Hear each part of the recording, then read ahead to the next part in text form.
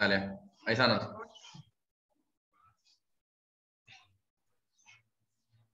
¿Cómo va? Buen día.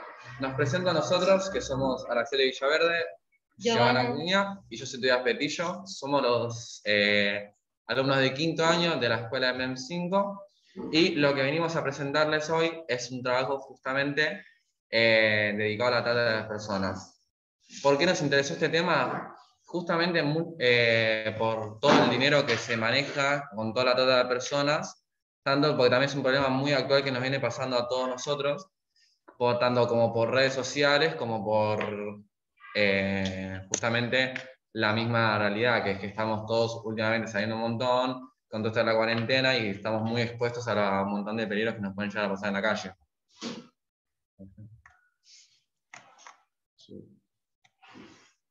Acá ahora hablamos de qué es la trata de personas.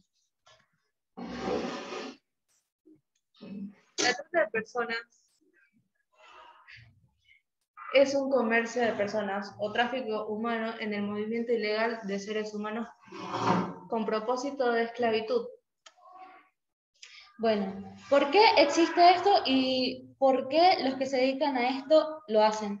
Principalmente para eh, obligar a las personas a hacer trabajo forzado. También se sabe que hay un mercado negro de ventas de órganos y eh, ventas de niños. También podemos, sale como a relucir también la explotación sexual. Y en otras culturas eh, también se puede ver el casamiento forzado de menores de edad. También eh, podemos eh, sacar a relucir en otras culturas eh, los niños soldados, que son niños reclutados desde su familia, pero como es un problema cultural, ellos no lo toman como tal como trata, pero sigue siendo un problema existente.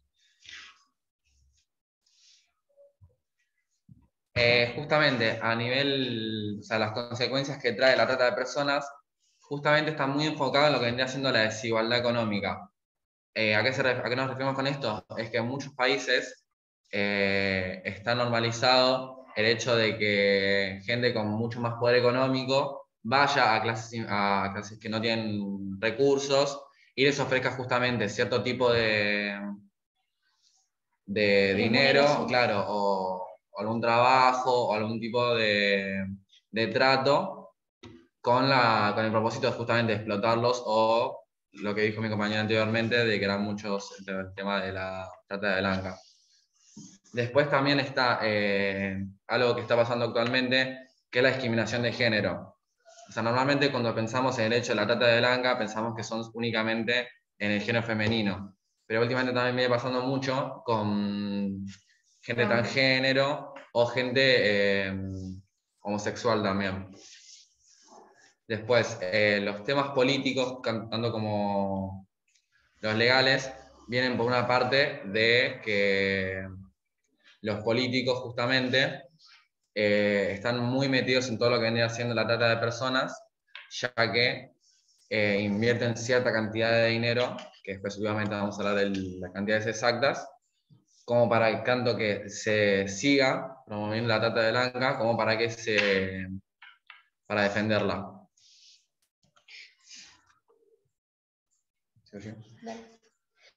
Eh, en Argentina, eh, como tal, eh, el Estado in- inter- intervino con 145 mil millones en seguridad, en seguridad interior. ¿Qué pasa con esto? En, lo- en las, en la información que podemos encontrar no hay un, algo específico, sino algo más general, como lo que podemos ver ahí. Dice seguridad interior, pero no especifica cuánto dinero como tal se, eh, se invirtió en trata de blancas. Claro, lo que tiene es que justamente es eso, o sea, al ser un mercado negro no se maneja o se lleva un stock del dinero realizado, sino que eso también tiene un, un gran punto, que es que no hay un, un centro exacto, es un centro clandestino que está repartido por todo lo que viene siendo toda Argentina. Entonces, llevar un recuento de toda la plata es un tema bastante delicado que no se puede llegar a concretar del todo.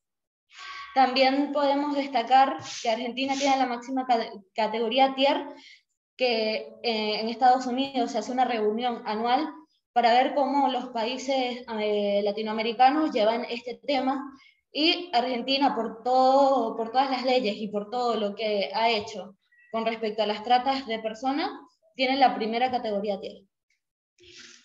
También podemos ver este, que tenemos una línea 145, que es de la ayuda de trata, que en el 2019 recibió alrededor de 1.796 denuncias, de las cuales 936 fueron judicializadas. Bueno, acá volvemos justamente a lo que habíamos hablado antes, de que cuando capital genera el mercado oculto o lo que tenía siendo una trata de blanca. A nivel mundial. Claro, obviamente, ¿no? Esto es un mercado oculto porque las tratas de, de personas justamente no está normalizada, menos en lo que viene haciendo Latinoamérica, y se calcula que normalmente alrededor de todo el mundo genera un capital de 32 billones de dólares anuales. O sea que es un mercado tan extenso que puede llegar a, a cifras tipo inimaginables, digamos. Sí, vos Bueno, en lo de la parte de la salud, tenemos dificultad en eh, disponer un servicio de la salud, ya que sea pública o privada, como hospitales, clínicas, sanitario, incluyendo medicaciones, medicamentos. En los alimentos no, no disponen alimentos variados y nutricionados, sobre todo los necesarios en los primeros años de la vida, de la vida trayectando como consecuencia de nutrición infantil. Agua potable. No traen agua potable cuando están en un trabajo así, porque están explotados y en educación, al no concurrir a la escuela, es ignorancia. Crece la ignorancia porque... Crece la ignorancia y al no tener justamente una educación adecuada o los, o los recursos básicos adecuados, eh, suelen recurrir directamente a este tipo de trabajo, que sería veniendo siendo como plata fácil o algún tipo de, de movimiento mucho más fácil y una forma mucho más rápida de conseguir dinero. Además, es más difícil así salir de, de este círculo. Eh, acá, como, podemos ver en todo lo que eh, son todos los países que, como, y cómo se reparten la pobreza. En, claro, en tanto. Tenemos en Honduras, Guatemala y Venezuela en las primeras tres posiciones.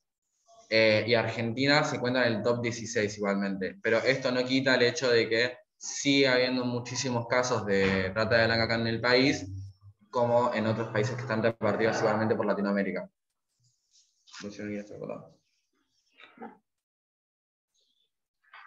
Bueno, conclusión. Eh, como conclusión del trabajo, nosotros como grupo estuvimos pensando bastante, estuvimos reflexionando y llegamos al hecho de que es algo que está pasando mucho actualmente, o sea, ya viene pasando hace ya un tiempo, pero actualmente volvió a suceder y es algo que, de lo cual no se puede pasar por arriba, digamos. O sea, no es un tema en el que si lo dejamos pasar eh, se va a resolver solo o alguien se va a entregar, sino que al ser un mercado tan extenso y con tantos dueños, digamos, es algo que nunca va a terminar. Y un montón de gente está implicada en esto, y un montón de gente que quiere salir, eh, pero no, que no encuentran la forma de cómo justamente llegar o pedir ayuda. Igualmente, a lo que nosotros queríamos eh, nada, que, que, sepan es que hay una línea de ayuda, que es la de 145, que le dejamos acá en el PowerPoint, que está eh, disponible a las 24 horas, los 365 días del año.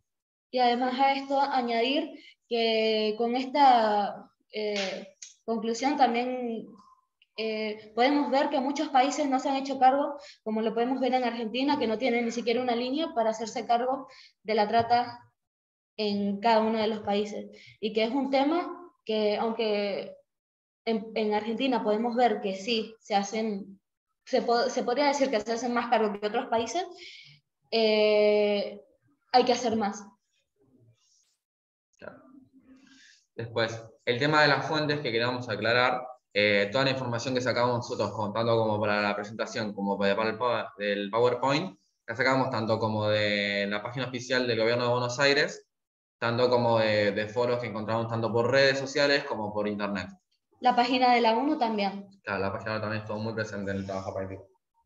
Después, más que nada, agradecerles a las facultades de Ciencias Económicas por la oportunidad de poder presentar y exponer nuestro trabajo práctico y a la profesora Laura también por ayudarnos mucho en todo lo que viene haciendo el, tanto el arreglo por la clase de Zoom como presencialidad acá en el colegio. Claro, nos estuvo acompañando en todo este proceso.